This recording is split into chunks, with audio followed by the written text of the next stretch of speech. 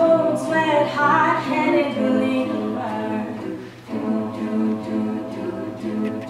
Do, threw my hands in the air and said, show me something.